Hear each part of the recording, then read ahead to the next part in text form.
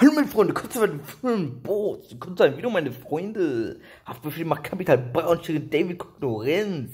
Er ist jetzt mit seinem Hafti, mit seinem Hafttee oder wie der heißt. Hafti-Tee, ich weiß nicht, wie der heißt, meine Freunde. Aber am 24.09. kam der raus. Vielleicht wird noch eine Review folgen, meine Freunde. Hafti, aber der Zug ist auch abgefahren, Hafti. Hm? Überleg mal, Kapi, dann dieser Jump Broke, dann Shirin David. Oh, wie viel Eistee soll es denn noch geben? Und wenn dieser Eistee von dir genauso schmeckt, irgendwie wie von Shirin David, der irgendwie nach Aldi Eistee schmeckt, oder nach Lidl Eistee, du kannst das auch sparen. Weil eine Million Eistees brauchen wir nicht auf dem Markt. Irgendwann klauen die sich gegenseitig die Kunden weg.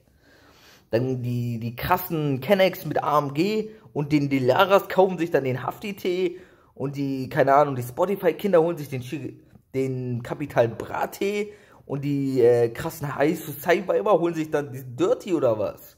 Das sind doch wohl eure Zielgruppen oder was? Hm? Achtet immer auf eure Zielgruppen, sonst macht ihr kein Money, meine Freunde.